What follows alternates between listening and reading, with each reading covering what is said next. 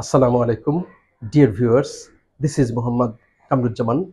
Welcome you all to my YouTube channel Shorts Uncut. Today, I'd like to discuss about the latest political situation in Bangladesh.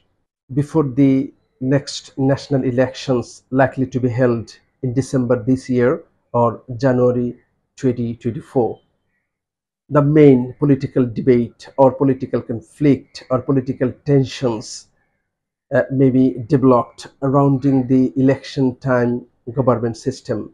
Because all political parties, especially the opposition political parties, uh, BNP, Bangladesh Nationalist Party, and its all allies, they are very strictly demanding that without a non-partisan caretaker government system, they will not take part in any election and even they will not allow for holding any election.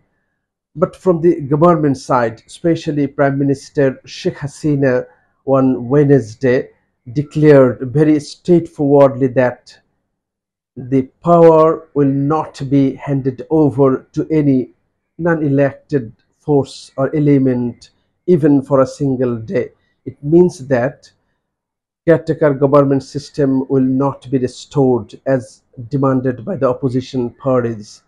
So uh, there will be a political tension in near future ahead of the next national elections. It's very clear. So what's the solution? Uh, to me, amicable political dialogue between the government or ruling Awami League party and the opposition parties uh, can be a very uh, a good way uh, to to sort out a solution in this regard. And I think the international communities, especially uh, the big countries that have a very good ties with a ruling Awami League party or government and the opposition parties, they can also uh, propose or encourage uh, the existing political parties in Bangladesh uh, for holding a dialogue. because in this situation, without political dialogue, the conflict will be intensified in, in near future and uh, uh, that will be uh, very chaotic, I think, as per the long political trend in this country.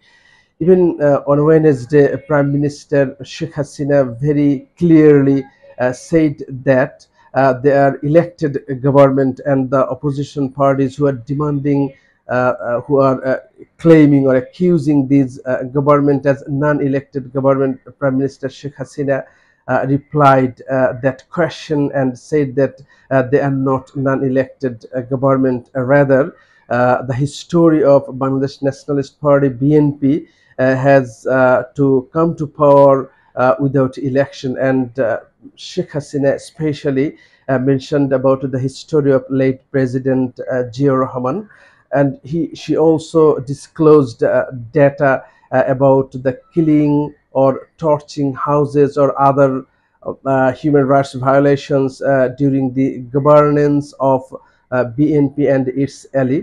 Uh, on the other hand, BNP leaders uh, in their regular public meetings or public rallies, they are claiming that there were huge irregularities during the 2018 and uh, 2020 uh, 2014 national elections especially uh, ballot stuffing and other intimidations in the election.